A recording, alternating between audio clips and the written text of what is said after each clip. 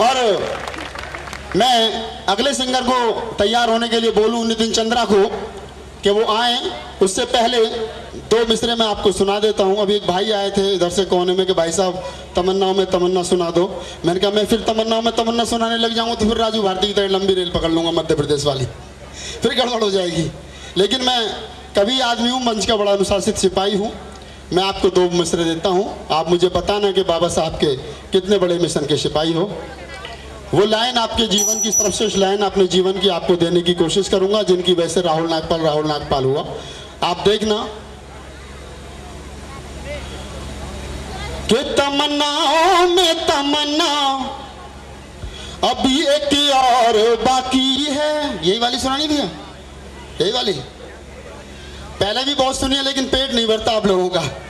मैं कभी सम्मेलन में जाता हूँ, लोग कहते हैं, भाई साहब, तमन्नाओं में तमन्ना सुना दो। और जब निकलता हूँ तो कहते हैं, यार, वही पुरानी वाली सुना के चला गया।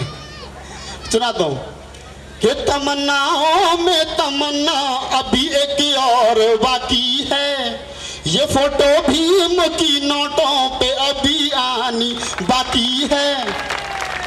अब ये पीछे वाले लोग समर्थन नहीं कर रहे थे इस बात का। ये चाहते हैं कि बहत्तर रुपए की नौकरी पे फेल होने वाला महात्मा गांधी नोटों पे रहे, इसका मतलब।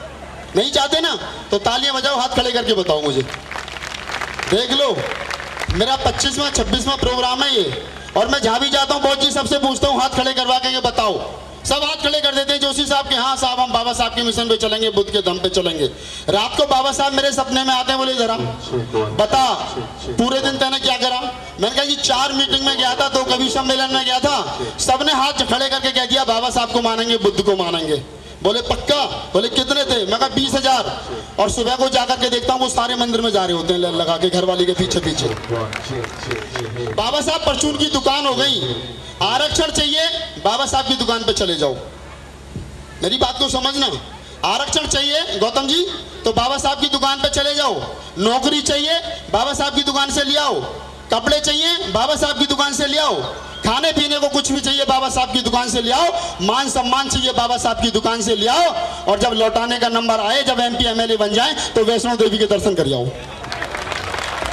ये कैसा अंबेडकर बाद में मनुवाद घुला हुआ, मुझे पता नहीं। कोशिश करना इसको सुधर जाए तो अच्छी बात है। मुक्तक पूरा करता हूँ। कि तमन्नाओं में तमन्ना अभी एक और बाकी है।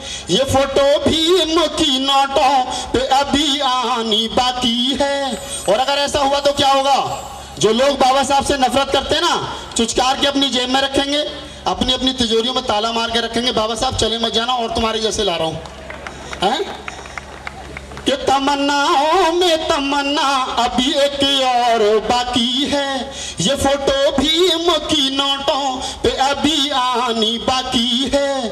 और दिवाली के से फिर यहाँ पूजते रहे बाबा। अरे, दीवानो भीम को देनी यही सौगात बाकी है। दीवानो भीम को देनी यही सौगात बाकी है।